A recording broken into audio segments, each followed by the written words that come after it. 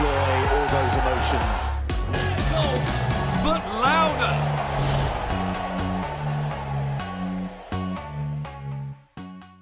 Salut à tous, bienvenue dans notre deuxième numéro de la Live Room. On est ravis de, de vous retrouver pour euh, évidemment débriefer euh, déjà le, le tournoi qui s'est déroulé il y a quelques temps déjà avec la victoire de Charlowell III. Et on va se, se projeter évidemment sur cette semaine et ce tournoi à Tucson.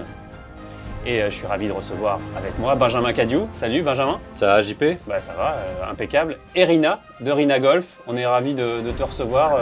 Euh, tu, tu es enseignant au Golf Oui. du Tremblay, c'est ça? J'enseigne le golf du parc du Tremblay Ah à bah. Champigny-sur-Marne. Et j'ai aussi une petite chaîne YouTube, Rina Golf. Hop, le pouce pitch est prêt. Merci de m'inviter. Génial, super.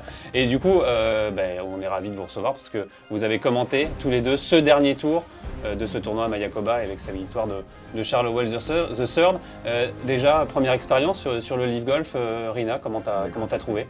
Très agréable, un magnifique parcours.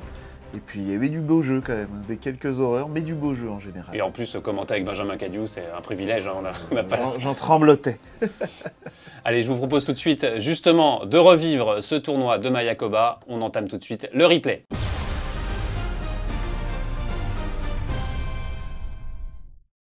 Allez messieurs, retour sur euh, cette édition, euh, ce premier tournoi euh, du Leaf Golf à Mayakoba et cette victoire, on va dire, allez, écrasante de Charlowell III qui a dominé euh, de la tête et des épaules et surtout le dernier jour. bah, C'était une victoire à la Charlowell de Third, troisième du nom. T'aimes bien ça, The Third Non, une victoire à la Charlowell, c'est-à-dire avec de la constance et il a regardé les autres joueurs euh, exploser en vol. On l'a- d'ailleurs vu un petit peu aux Players euh, sur le PGA Tour avec la victoire Scotty Scheffler, c'est regarder les autres euh, exploser en vol et c'est aussi ça la, la façon de gagner des, des grands joueurs. Et, et Charlowell qui a évidemment pas gagné de majeur mais qui a fait une sacrée carrière sur le PGA Tour, plus de 43 millions de dollars de gains de- depuis les années 2000 où, où il est passé pro. Vous vous souvenez d'ailleurs quand il est passé pro, Charlowell, c'était un peu the answer, la réponse à Tiger Woods. Vous vous en souvenez, euh, messieurs? Il était assez maigrichon de mémoire là, comme ça, quand il est jeune. c'était un Ouais, sacré C'était un bel, espoir euh, du golf euh, Ouais. américain, du golf mondial surtout.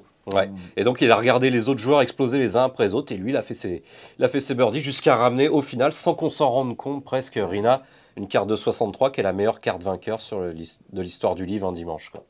Magnifique. Non, le, le putting incroyable. Enfin, il faisait ce qu'il voulait avec la balle. Et à côté, ça cracouillait. Impeccable. Justement, euh, Rina, un joueur comme Charlowell euh, The Third, c'est un joueur euh, qu'on peut regarder, nous les joueurs amateurs. Est-ce que euh, quand vous avez des élèves, euh, Alors, je vais beaucoup plus conseiller un Charles Howell qu'un Dustin, parce que ça paraît tellement simple en termes de swing. Puis, c'est finement joué, un et, et mentalement, on sent un birdie, un double, il bronche pas. Bon, on n'a pas vu de double, mais euh, voilà, j'aime beaucoup sa- son attitude sur le parcours. Toujours hyper calme, et ça, c'est un vrai exemple pour tous les amateurs qui pètent des câbles pour rien, alors qu'il n'y a rien à gagner dans leur tournoi. Donc là, magnifique. bon, après, c'est, on voit aussi des joueurs, euh, comme on pense euh, évidemment à un Tyrell Hatton qui n'est pas joueur du Leaf Golf, mais exprimer ses émotions, ça a aussi du bon parfois d'exprimer ses émotions. Benjamin, euh, Bougonner, ça fait du bien de bougonner des fois. bougonner, lancer des clubs, non, c'est, bon, ça faut pas trop le faire. aller mais- jusque-là quand même. Ah, Moi, je suis assez contre. hein. Moi, je conseillerais aux élèves, de- aux amateurs, pardon, même de- de- d'encaisser. Il faut ni être euphorique, ni être énervé au golf. Il faut, faut rester calme. C'est l'idéal. En tout cas, Charlowell euh, The Third, lui, a été euh, d'un calme impeccable. Il a remporté ce premier tournoi euh, du Leaf Golf pour lui. Euh, première victoire depuis, euh, depuis 4 ans. Il avait gagné un tournoi Ouais, sur le. RSM, c'était le RSM Exactement. classique en 2017 2018. 2018, oui. 2018, Benjamin. Et donc, euh, bah voilà, c'est le membre des Crushers euh, qui remporte le chèque de 4 millions de dollars, un petit peu plus que lors du RSM classique, euh, et qui prend la tête, évidemment, du classement individuel que vous allez voir euh, tout de suite euh, sur, euh, sur votre écran. Il y a un jingle pour... Non, il n'y a pas de jingle cette fois. y a pas de jingle. On, peut, on pourra en faire un si vous voulez, euh, Benjamin. Ouais, moi j'aime bien. Donc la tête du, du classement individuel pour euh, Charles Welser, évidemment, qui, euh, euh, qui prend la tête. Et euh, cette équipe des Crushers, Le début de, de Bryson de Chambaud qui était assez attendu en tournant, puisque d'accord, euh, t'es d'accord JP, on l'a pas trop vu aux avant-postes ouais, c'est l'année dernière. c'est surtout son équipe qui a, qui a tenu la baraque pendant ce, ce premier tournoi à Mayakoba, euh, même si Bryson de Chambaud euh, a été l'un des trois scores qui a été pris, mais c'est plus ses, ad- ses- ses partenaires de jeu qui ont fait le jeu plutôt que Bryson de Chambaud cette fois-ci. Ouais, j'ai pas le détail, mais c'est vrai que euh, ça, ils ont quand même bien rattrapé la, la- Ils ont bien sauvé la baraque par rapport à les scores de Hannibal Lahiri qui a, qui pas été une seule fois choisi. D'ailleurs, j'avais, j'avais une petite stat, JP, si vous voulez savoir. Si vous voulez savoir un peu l'impact de, du golf par équipe sur le Leaf Golf, 24 joueurs sur 48 seulement ont vu leur score retenu pendant la- l'épreuve de. Donc, Et 20 Benjamin, c'est les trois meilleurs scores sur les trois tours qui sont sélectionnés. Voilà, exactement. Rina, ce format par équipe sur le Leaf Golf euh, Alors, j'aime bien, mais euh, je vais chipoter un petit peu, mais moi, je trouve un peu mou le côté équipe. Bon, J'ai un peu de mal à capter qui joue avec qui, bon, sauf si je l'ai sous le nez. Et j'aurais aimé, euh, on va dire, quitte à faire en équipe, qui est par exemple une joueuse et un joueur senior. Vraiment une vraie équipe avec trois types de joueurs très différents. Ça, ah, vraiment adoré. mixte, une équipe Ouais, ça, ouais. vraiment mix. c'est-à-dire Dans chaque équipe, tu as un joueur, on va dire, un, classique, un adulte homme et une joueuse du, du tour et puis euh, un senior. Moi, j'adorerais ça. Ah, faut le proposer à Greg Norman, ça, Benjamin, Oui, on va lui envoyer un petit mail. Peut connaître quelques joueurs seniors, le Greg Norman, quand même, depuis Mettre le temps. des animaux aussi sur le parcours. Ah, ça, on en voit, on en a vu euh, quelques-uns euh, aussi sur le. Évidemment, à chaque fois sur les, les parcours, euh, on en voit des, des animaux, la faune, la flore, c'est ça aussi qui fait la magie du golf.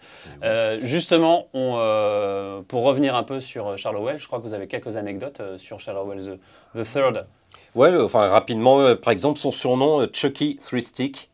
Je connaissais pas Alors, son c'est surnom. Chucky. Three Stick. Alors, Stick. comme trois, comme trois bâtons, Charlowell euh, deux sœurs de trois bâtons, Three Stick. Il est aussi Voilà. large que son putter, c'est ça? Euh, ça, ça, je sais pas, on n'a pas toutes les infos là-dessus.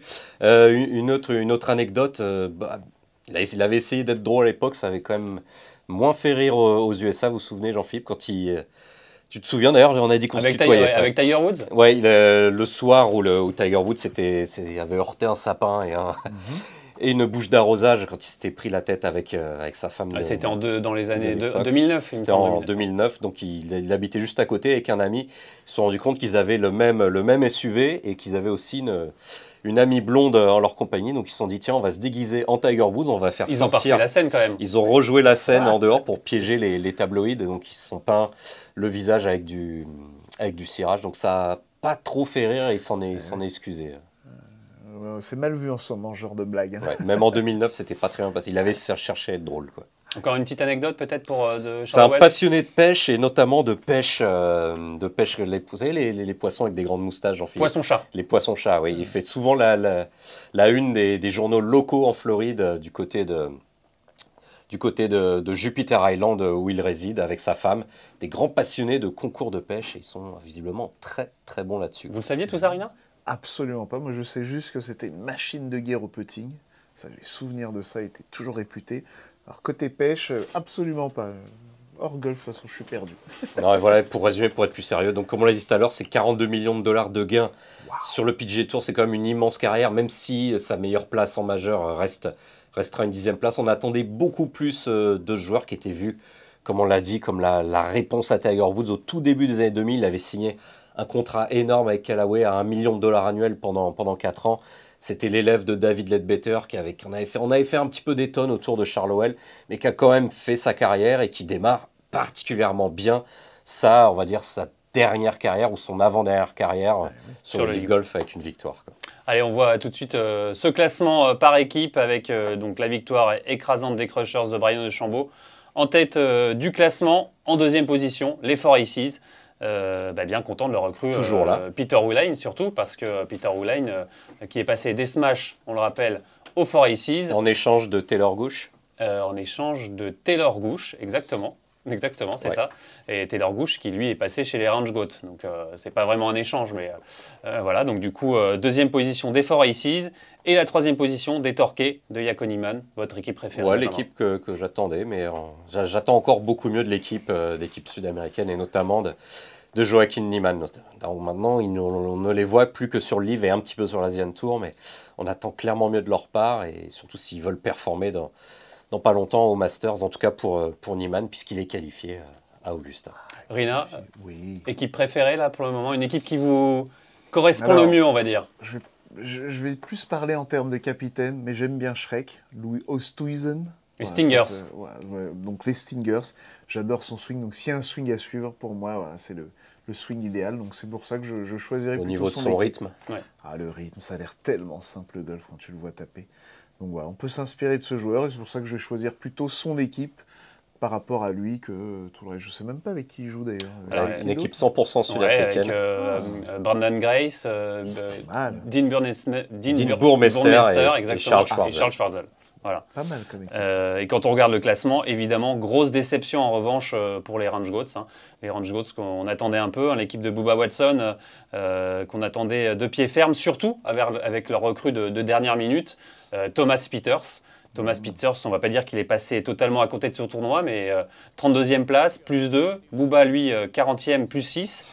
Après, c'était le premier tournoi. Il faut dire que pour Thomas Peters, qui est arrivé, qui a un peu débarqué, pas de nulle part, mais euh, une pression mentale énorme quand, on voit que même un Graham McDowell, comme il nous l'avait dit à Oman il y a, un mois, leur saison a quasiment été ruinée l'an dernier à tous ces joueurs-là, au Poulter, au Westwood, au, au Stenson, parce qu'ils ont reçu tellement de critiques, tellement de pression de leur choix de quitter les circuits traditionnels pour le livre.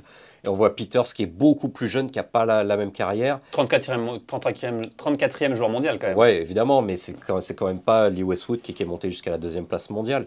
Mais quand on voit que ces, ces joueurs-là, ces barons du golf européen, ont été ont, ont vu leur saison ruinée à cause de toute cette pression autour, on pouvait s'attendre à ce que Thomas Peters ne, ne performe pas d'entrée. Je pense que ça va lui prendre quelques tournois jusqu'à ce qu'il jusqu'à ce qu'il prenne le rythme et qu'il se fasse à cette grosse décision. Cette nouvelle vie, tout simplement. Ouais. C'est une nouvelle vie pour euh, Et il a signé trois ans sur le livre, on le rappelle. Je, je me demande s'il n'y a pas un petit peu un petit bizutage là, par Pat Perez. Donc il a eu du mal à se réveiller toute la semaine, mais à mon avis, quand tu accueilles un nouveau, ils ont l'air de bien faire la fête. Donc euh, voilà, il faut s'y adapter, puis euh, être là le, le samedi, le vendredi, le dimanche, alors qu'on a bien fait la chouille la veille. mais- Donc il faut être performant dans le golf, dans la fête. Est-ce que vous avez des petits tuyaux pour, être, pour bien jouer après une, une bonne soirée, Rina? Alors, il faut consommer avec modération, il faut trouver la bonne dose. Voilà. Donc, pas assez, tu danses pas. Euh, T'as la bonne dose, tu danses bien. Au-delà, t'es foutu. t'es le roi des chiottes. Allez, Allez justement, donc euh, Thomas Peters, euh, Bubba Watson, euh, équipe des Range Goats, avec Taylor Gooch. Taylor Gooch qui lui était chez les Four Aces justement, qui a un peu sauvé les meubles durant les deux premiers tours. Et comme vous l'avez dit, messieurs, bah, Charles III a vu tous ses, adversaires s'écrouler, dont Taylor Gooch, euh, qui s'est écroulé le dernier jour. Une équipe qui a un peu besoin de réglage, hein, les, Range Goats. On, va attendre un peu avant de- de se positionner. Oui, c'est encore trop tôt pour faire des pour tirer des, des analyses et des, des conclusions, mais notamment Booba Watson qui a quasiment pas joué de l'an- la saison dernière, qui était blessé au ménisque, qui a été opéré, donc euh, on peut pas espérer euh, des performances dès le premier tour. Enfin, on l'a on l'a quand même espéré évidemment, Bien sûr. vu les vu les CV euh, ronds, j'allais dire ronflants, c'est même plus Avec. Harold Varner aussi. Harold. Varner qui, a- qui avait gagné le Saoudi euh, l'an dernier. Donc sur le, sur le papier, c'est une super équipe. Ils s'en- ils s'entendent très bien ensemble dans, la vie. À voir comment ils vont intégrer. Peter, c'est quand même beaucoup plus. qui a un taiseux et qui vit beaucoup plus à part. euh, le, le joueur, le joueur belge. Mais on va, on va leur laisser un petit peu de temps. Mais c'est vrai qu'une équipe de favoris comme ça, on a envie que ça performe de suite. Quoi. Ouais, que ça, que ça pète quoi. C'est surtout un parcours assez serré. et Que, bon, là, on a des gros frappeurs, un Booba Watson avec des énormes effets. Il a plutôt besoin de parcours assez large, lui, quand Ouais, même, hein. je pense que du côté de Marana, ça, ça sera mieux. Ouais, on en discutera tout à l'heure, mais messieurs, je vous propose tout de suite de passer au top et au flop.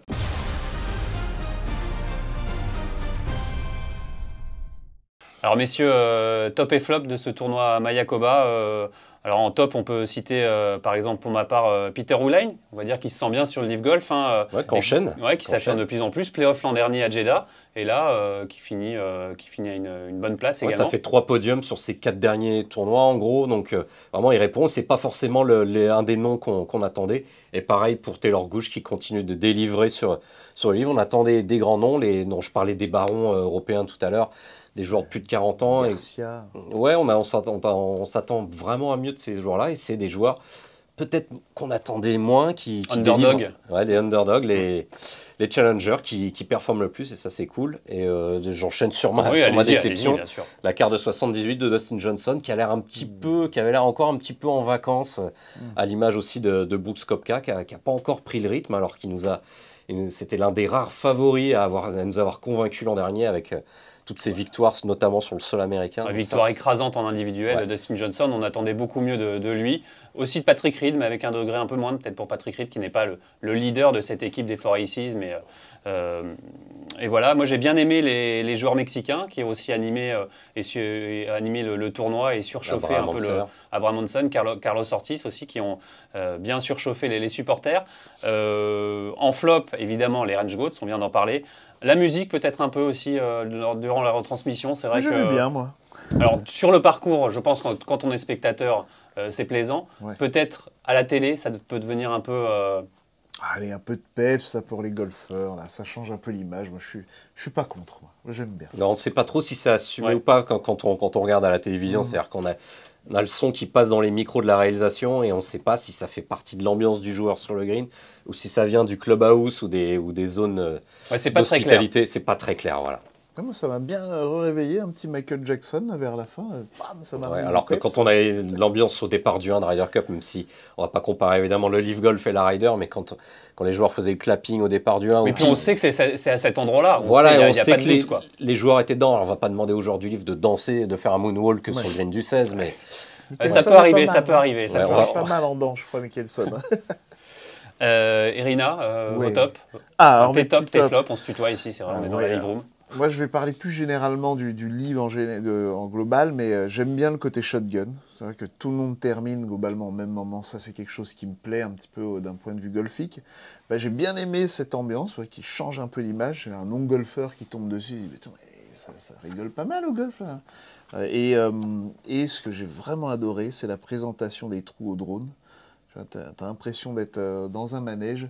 Et ça, j'aime bien Dans- revoir dans ça Wipeout. Voilà, quand on jouait à Wipeout. Sur la C'est vrai que PC, c'est la nouveau PlayStation. drone euh, façon Ah. un peu euh, jeu vidéo, quoi, Ah. carrément euh, dans le. Donc ça, vraiment, c'est des trucs Ouais, il y a des progrès de ré- à la réalisation. Mm. ouais. On voudrait euh, vrai que ça progresse au niveau, qu'ils nous mettent un trackman sur chaque départ, par exemple, qu'on ait des vitesses de balle, ça. Ouais. qu'on ait des trackers un petit peu plus précis. Ouais, et surtout, des trackers un peu plus précis, parce que des fois, il y a des vraies, euh, des vraies erreurs de l'ordinateur Mais ou du bon, ça logiciel. progresse. mais bon, évidemment. Mm. Allez, messieurs, je vous propose de passer tout de suite au Live News.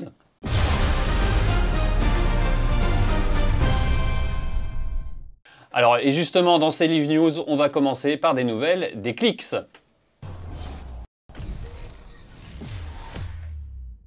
Et justement, chez les clics, euh, quelques nouvelles de Marty Keimer, euh, toujours convalescent, hein, euh, remplacé par Laurie Canter au Mexique.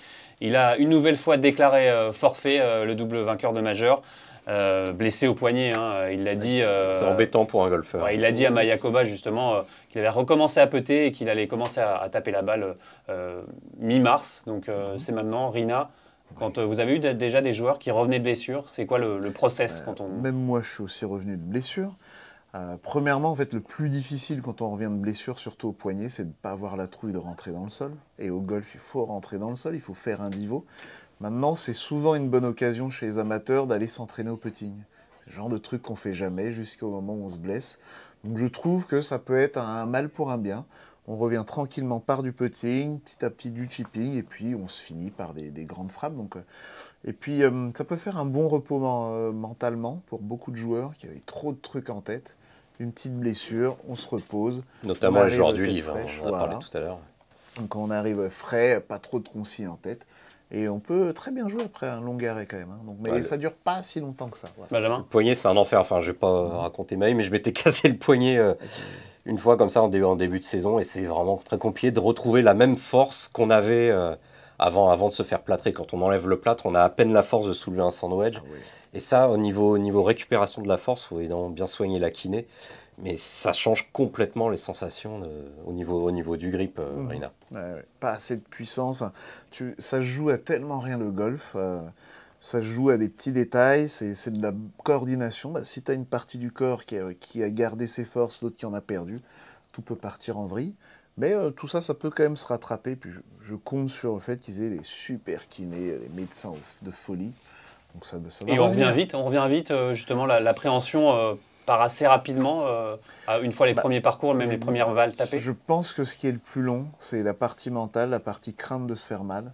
Même si le corps peut revenir assez rapidement, euh, cette partie-là craintive du corps, euh, celle-là, elle est beaucoup plus dure à passer, je Là, pense. là, on se met dans la, dans la position de Martin Keimer. La première balle dans une souche ou dans du rough Mm. Eh profond, même si heureusement, je crois qu'il n'y a, pas de- il y a quasiment pas de rough à Marana, mais il y a quand même des zones avec pas mal de caillasses et Euh, des bah, cactus. sinon, il se drop, c'est pas grave.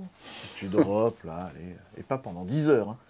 Drop. Pas comme au Mayakoba avec euh, Peter Uline. et- Ah, ça, c'est... Tiens, ça, c'est un de mes points Ouais, négatifs. le gelant, Je- le gelant, c'est un de vos flops. Ouais, mais c'est tout le temps comme ça chez les professionnels. Alors, je- Parfois, on me dit oui, mais ils jouent de grosses sommes d'argent.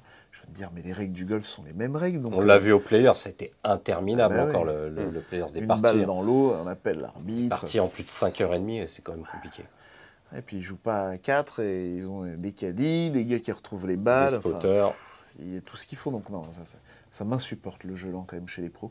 Et nous, les, les profs de golf, on doit dire à nos amateurs de jouer vite derrière. Donc euh, ils comprennent pas quoi. Enfin, Allez messieurs, on va tout de suite parler de, de cette nouvelle news, cette arrivée du Leaf Combine. Euh, on a vu ça passer sur les réseaux sociaux il y a, il y a pas si longtemps. Et Ils l'ont ils l'ont ils l'ont Ils l'ont retiré vite aussi vite qu'ils l'ont annoncé. Ah oui quoi. Alors c'était une annonce euh, de, sur chaque événement. Euh, les joueurs auront le droit à des défis physiques, de réactivité, de logique, euh, avec un vrai classement.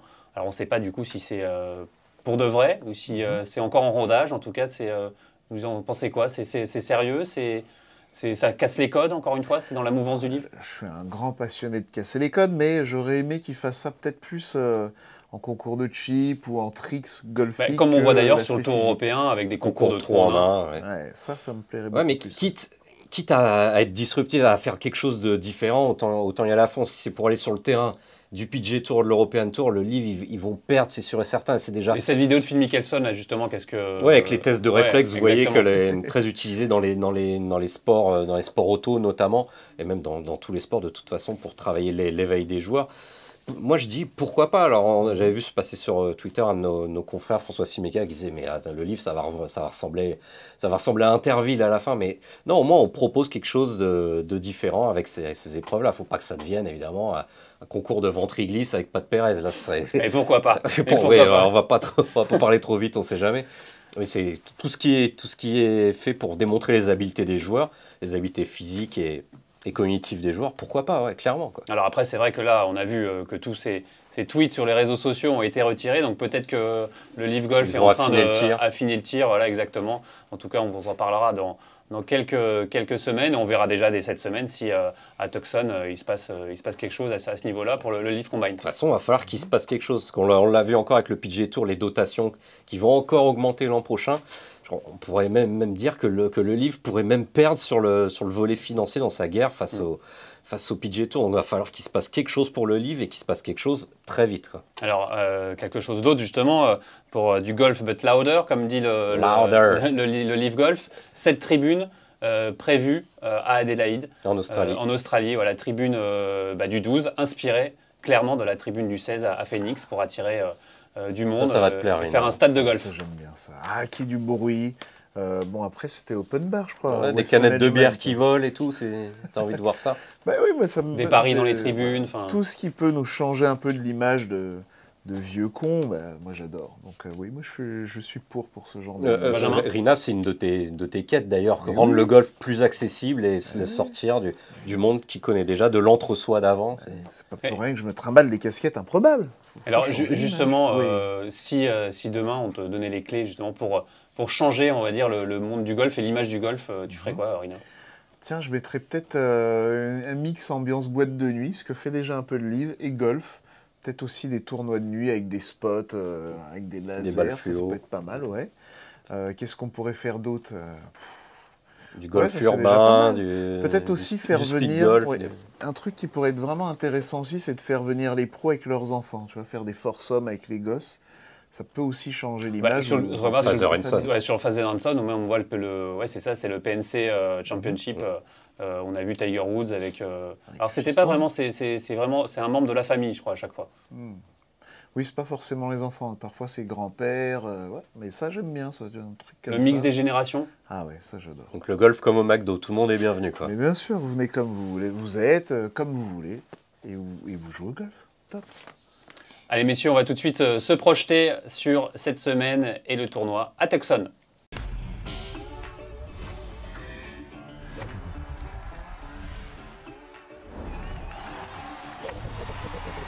Are you game?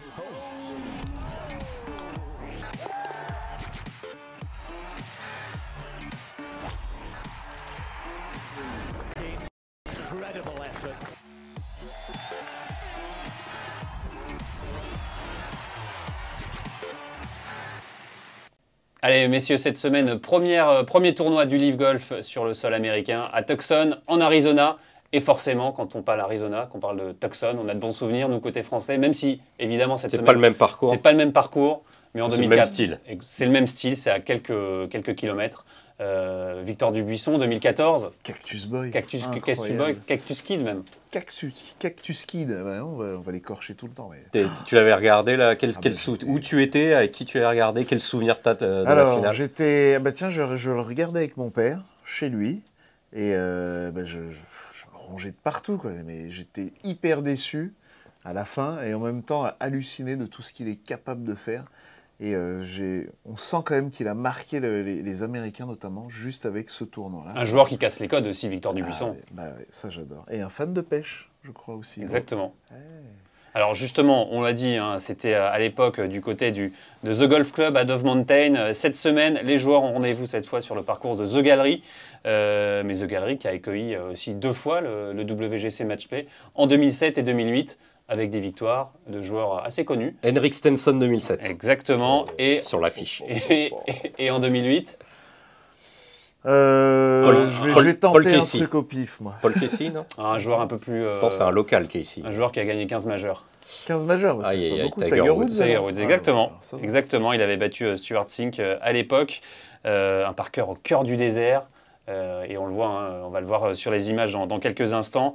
Euh, c'est ce parcours sud qui a reçu ces deux WGC. Il y a un parcours nord. Et d'ailleurs, pour la petite anecdote, le parcours nord, c'est celui qui a le plus long par 5 des États-Unis. Ah, alors combien? Je vais parler en mètres, hein, je vais pas 600. parler en yards, mais je vais dire euh, Je dirais 660 mètres. 666. Alors, c'est allez. 725 yards. Donc, ça fait- Ah Donc ouais, ça donc fait, euh, 590. ouais. euh, c'est Exactement. tout. Oh, je m'attendais à plus costaud que ça. Drive bois 5 pour toi, JP. Comme le, le, le par, le par 5, euh, non, le, même le par 6 à Seignos. Ah, Euh, ce fa- 666. ce- de 18. 666 mètres. Euh, voilà, évidemment, architecte euh, de, de ce parcours de, de The Gallery, Tom Lehman et John Foot. Vous Euh, connaissez on connaît moins. Euh, Tom. Lehman, on connaît Tom plus, Lehman, numéro on 1 connaît bien. mondial. Swing improbable. US Open Très, très bon. 96, Ancien numéro 1 mondial. 97. ouais. Grand pote de Tiger Woods, ce Tom Lehman. Alors, Rina, justement, Oui. ce parcours euh, cette semaine, on le sait, il est euh, un peu surélevé, euh, 900 mètres au-dessus du niveau de la mer. Mhm. Forcément, ça change le vol de balle, il faut en tenir compte. Ça, c'est parfait pour le spectacle. Ça va envoyer des kilomètres au drive. Je suppose que les fairways vont être tondus dans le bon sens. Donc, euh, on va avoir des, des grosses attaques de green. Je pense des tentatives de par 5 en 2 qui devraient avoir du birdie, du birdie, peut-être même beaucoup d'eagle. Donc Ouais, ça, c'est pas mal. C'est un parcours, ben, comme on l'a vu euh, par le passé il y a 15 ans, euh, adapté au match play, où il peut se passer pas mal de choses, très risque-récompense, et avec beaucoup de greens, qui est un peu une, une des signatures euh, des, des architectes, des greens un peu en volcan, des greens un peu surélevés, ce qui fait que quand vous êtes très légèrement imprécis, quand vous La balle il y a un redescend. peu la balle redescend, prend les, ces fameuses choses trappes euh, qu'on rencontre quand même très souvent sur les tournois pro pour sanctionner les coups de fer moyens. Donc, euh, Quoi, les bunkers? Non, non, ouais, les, les sortes de bunkers d'herbe euh, sur les côtés. Bunker, le Les grasses coup le plus simple du golf, ça va redonner du spectacle, ça. Donc, oui, Ça, ça c'est le coup de, de Rina, le bunker.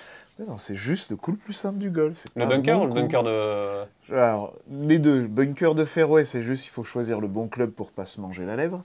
Mais les bunkers. Le, bunker de fairway est considéré comme l'un des, plus, des coups qui font le plus peur, en tout cas aux, aux joueurs amateurs. tape comme sur un fairway. Non, c'est juste qu'il part pêcher de gourmandise. Il tente de faire 200 mètres alors qu'il y a une petite lèvre. Donc, il faut juste choisir son club en fonction de la lèvre. Et ça passe. Et les bunkers de green, c'est- c'est pour du spectacle. Donc, euh, jamais avoir crainte. À la télé, un pro est dans le bunker, il va la coller au drapeau. Un big up à Victor Pérez, euh, qui nous fait une sacrée victoire sur une sortie de bunker. À Abu À Abu Dhabi. Dhabi, le, le 17. Euh, Est-ce qu'on va voir, euh, on espère en tout cas voir des, des coups à la ca- Cactus Kid euh, de Victor Dubuisson un peu dans, euh, dans le bush là euh, Les des- ingrédients sont là et ça devrait arriver, je pense. ouais.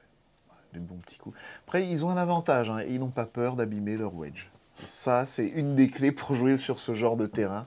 Si tu as la truc péter ton wedge, euh, impossible de t'en sortir. Sinon, ça passe. Benjamin. Yann Poulter avait gagné sur, euh, en, 2000, euh, en 2010 contre Paul Cazet sur. euh, Ouais, bah, Paul Casey, moi je le vois bien, je le vois bien performer puisqu'il est résident de- depuis de longues années de, de l'Arizona. Il habite la région, il connaît très bien ce genre de parcours. C'est aussi un bon joueur de match play, hyper expérimenté en Ryder Cup. Donc euh, Paul Casey, même si euh, c'est pas forcément lui qu'on a vu aux avant-postes euh, l'an dernier sur, sur le livre, mais j'aimerais bien en tout cas. C'est là, c'est on va dire un choix du cœur plus qu'un choix de raison. Je mettrai pas forcément mon argent là-dessus, mais je mets mon, mon cœur dessus sur euh, Paul Casey cette semaine. Justement, on parle de match play. On sait que la dernière épreuve se joue en finale en match play puis en stroke play. Il manque peut-être un peu plus d'épreuves en match play dans ce, dans ce livre golf? C'est pas Dans le avis, livre, mais oui, je suis d'accord. Le match play, c'est une vraie formule intéressante. On voit vraiment ce côté attaque-défense, comme tu disais, Ben. Et, euh, et j'aime voir cette partie-là et les rebondissements. Tu vois, en deux secondes, euh, tu, tu perds un trou. Tu peux aussi euh, faire une horreur et puis gagner quand même le trou. Donc oui, je trouve que ça manque de match-play dans le golf. Et c'est vrai qu'historiquement, beaucoup de tournois se jouaient plutôt en match-play. Et le stroke play, c'est assez récent quand même. British Open euh, se jouait en match play tout au début. euh, tout au début. Oui, il y a longtemps. Il y a on très, était- très on- longtemps, on- T'étais pas né, JP. mais- Ouais, toi non plus d'ailleurs. Oui.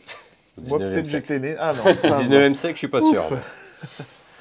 Allez messieurs, euh, bah, je vous propose tout de suite, avant de, de terminer cette émission, de passer au quiz. On va Ah vous tester. Aïe, aïe, aïe, aïe,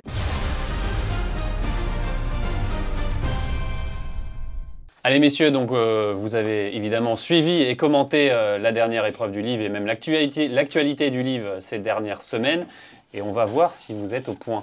Alors je commence par un joueur du Live Golf qui a glissé hors du top 200 mondial cette semaine. C'est Charles Schwarzel. non un nouveau venu sur le Live Golf qui était blessé l'année Bryson dernière. de Chambaud. qui était blessé l'année dernière. Ah, Booba Watson. Exactement, Un Booba point. Watson. 200e. Ouais. Oh, ils Exactement, qui est trop vais 201e remettre- mondial euh, il, jouera, il jouera le Masters à Augusta. Exactement. Vainqueur. ouais. Double vainqueur. On continue. Ah bah. Alors, Un qui a déclaré au sujet des joueurs du livre et de la Ryder Cup La Ryder, c'est autre chose. Je souhaite qu'on puisse aligner les 12 meilleurs joueurs européens John Ram. et j'espère en faire partie. Le but, c'est Ah, de gagner, pardon. pas d'être gentil avec les uns et les autres, et c'est l'essence du golf. Alors, ce n'est pas, un joueur, ce n'est pas un joueur du livre golf. John Ram. Un non-joueur du Live Golf, donc un Européen. hein. Donc c'est pas Fitzpatrick, ça c'est sûr. C'est Fitzpatrick, Mathieu Mais Fitzpatrick, non. si, si, qui a déclaré Bah, qu'il ne souhaitait pas que Ah. les joueurs du PGA ne Tour souhaitait pas, d'accord. Mais pour la Ryder Cup, c'était autre chose. Lui, il pour la Ah Ryder oui. Cup, il n'a- il n'a pas, euh, il n'a pas de- dit qu'il ne souhaitait pas voir les joueurs du livre. Mais il ne veut pas les voir revenir sur le PGA. Exactement. Eh ben, Ouais. On apprend des choses eh, dans, dans la live room. Alors, on en a parlé tout à l'heure. Charles Wells III a remporté donc le livre de Mayakoba en établissant un record. Lequel? Le score le Ouais, plus bas le dimanche, 63. Ah, Le Exactement. score vainqueur le plus bas de l'histoire du livre. J'ai juste Ah, dit il a- vu les-. Ah, Ah, questions, Benjamin. Euh, ça. non, non. Vengeance sur le parcours. Alors, on continue. Quels sont les cinq joueurs du livre à avoir fait leurs études à Arizona State? Ah, Paul Casey, Pat Perez, euh, Phil Mickelson, Ça fait trois. Peut-être en trop Ri- bien. Rina, euh, David Puig. Ouais. David Puig. et le. Il en manque un. Il me manque le, le dernier, c'est euh, euh, Taylor Gooch. Non. Équipe des Reapers. Peter, c'est pas Peter O'Lane, donc c'est. En Europe. Euh, Matt Jones. Exactement. Il est incollable. Il est incollable. Machine de guerre, Oh, je je peux te rien défonce. faire. Oh là là, je peux rien Et faire. dernière question, combien de birdies a fait Charles Howell à Mayakoba? Ou euh, 24. Sur le dernier Ah non, tour bah non, Non, beaucoup en plus. Sur tout. le total C'est le record. Il a gagné en moins 20. 60.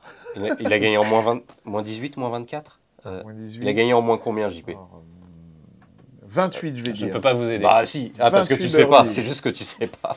Je Il a fait 28 19 birdies. 19 birdies, Charles Howell. Ah donc il a fait très peu de bogey alors, Eh ouais, C'est plus exactement. que moi sur une saison entière. Bravo. dans toute ma vie. Ah, bon, ça. On va terminer et on va vous faire gagner quelque chose. Euh, on va déjà nous donner nos pronostics pour cette semaine. J'ai rien gagné moi Mais vous avez gagné le droit d'en revenir la semaine prochaine. Yes. Et si vous répondez bien et vous trouvez le bon pronostic, on vous fait gagner. Regardez, on va sortir ça de notre sac à, euh, sac à malice. Hop, Alors est-ce qu'on l'ouvre? Est-ce qu'on est superstitieux Normalement, ça le- porte malheur, mais on va l'ouvrir quand même. On vous fait gagner. Attention, Un parapluie. un parapluie qui prend toute la taille du studio, mais c'est pas grave. Journal du golf, vous le voyez. Hop. Un mug, Journal du golf TV, S'il arrive entier, s'il arrive entier. ça c'est pas contractuel. Alors, et qu'est-ce qu'on a d'autre? On pourra trouver Ah, quelque chose d'autre? dans le sac? Je crois qu'il y a une paire de chaussettes sales de Ouais. Rina. J'ai fait Attention. 18 trous aujourd'hui. Hop, Ah bah c'est pas mal ça, un carnet, Oui.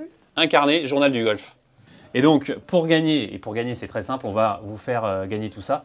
C'est très simple, il faut donner le bon vainqueur avec le bon score. Évidemment le score le plus approchant remportera la mise. C'est trois jolis lots.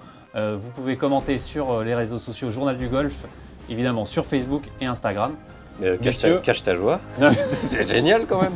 Messieurs, un petit pronostic du coup? Euh, Verstappen. Verstappen. Non, Paul Casey, je reste sur Paul Casey, le choix du cœur. Même si j'y crois pas une seconde. c'est quand même Paul Casey que, que je mets. Oosthuizen, moins 15. Allez, mon Louis. Eh ben moi je dis Peter Uline. Allez. Allez à bientôt et, euh, et à bientôt euh, sur les antennes de Journal du Golf. Salut tout le monde. Ciao.